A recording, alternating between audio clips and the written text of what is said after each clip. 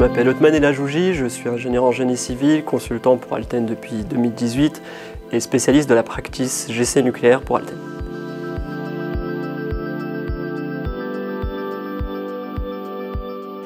Alors aujourd'hui, nous avons des centrales en exploitation qui ont une puissance de l'ordre de 1000 MW.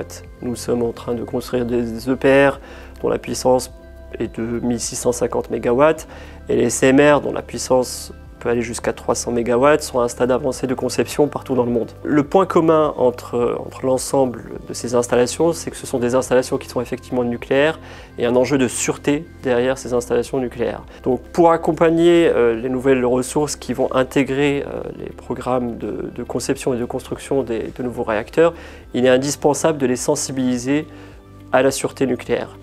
La N2A, la Nucléaire Alten Academy, répond en partie à ce besoin. Avec le programme de construction de nouveaux réacteurs euh, qui a été lancé en France, nous avons besoin d'embarquer de nouvelles ressources euh, dans le nucléaire. Les émissions de CO2, nos émissions de CO2 contribuent au réchauffement climatique. Donc si on compare les émissions de CO2 du nucléaire à d'autres énergies, on se rend bien compte que sur du nucléaire, on est sur des émissions de CO2 de l'ordre de 6 grammes au kilowattheure produit, et pour le charbon, par exemple, on est sur euh, des, émissions de CO2 qui peuvent aller jusqu'à 1000 grammes au kilowattheure produit. L'énergie solaire et l'éolien sont des énergies qui sont effectivement renouvelables. En revanche, ces énergies ne sont pas pilotables. Donc le jour où euh, le ciel est couvert, le jour où il n'y a pas de vent, on ne peut pas arrêter toutes nos activités, on ne peut pas s'arrêter.